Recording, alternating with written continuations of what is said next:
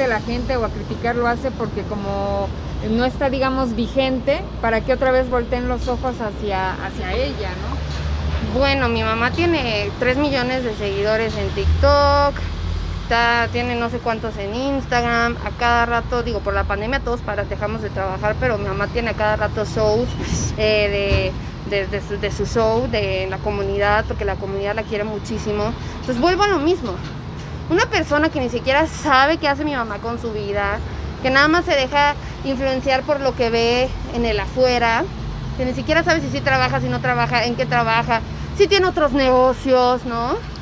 Al final del día yo podría decir lo mismo del señor, porque como vuelvo a repetir, pues él también está en TikTok, entonces también yo podría decir, ¿qué onda? No te queda otra más que meterte a la red social de los, de los millennials, de los generación Z, pues también, ¿no? Pero no lo voy a hacer, bueno, ya lo dije, pero pero yo respeto y el Señor también tiene su trayectoria, ¿no? Al final, mira, hay que acomodarnos, hay que saber que si ahorita lo que está funcionando es el TikTok y yo necesito tragar, pues yo me voy a poner a subir mis TikToks, tenga la edad que tenga. Y yo estoy muy segura que él también recibe una muy buena lana por subir sus TikToks y de eso seguramente también vivirán él y su familia. Entonces, pues no hay que criticar a otras personas y menos si tú haces lo mismo, ¿estás de acuerdo? O sea, yo creo que... ¿Qué tanto van a extrañar a tu mami ahora que están haciendo pues ya la mudanza? Ay, ya sé, ni me digas. Mucho. De hecho, ahorita me voy a, me voy a su casa rápido.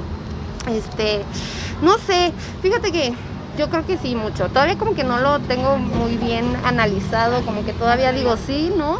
Asimilado, ajá. Este, entonces de repente digo, ay, jole, la voy a extrañar, no, yo creo que sí, definitivamente, obviamente estaré en contacto con ella todo el tiempo. Y lo más rico de que esté allá es que pues si ustedes saben, yo soy de Mérida, yo nací allá, mi papá también vive allá, entonces yo ya tengo cien mil excusas para irme a la playa a Mérida cada vez que pueda. Y eso también me tiene muy tranquila. Yo estoy feliz por ella, estoy feliz porque sé que va a vivir delicioso, que va a estar tranquila, que está haciendo lo que quiere. Y eso también me da mucha paz y yo me quedaré, yo me quedaré acá haciendo lo mío. yo subiendo mis, mis escaloncitos.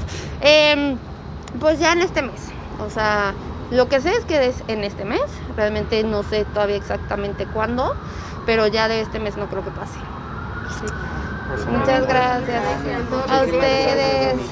Gracias por el chisme. Nos regalas ahí tantito. Claro. ¿Quieres que te ayude con la bolsita? Échala.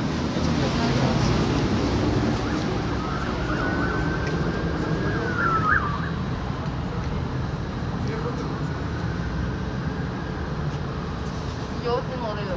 Claro. Mis pantalones de Zara, ¿verdad? Los zapatos de Bershka. Gracias, bebé. Gracias, Romis. Estoy sonriendo y no lo puedo ver. Gracias.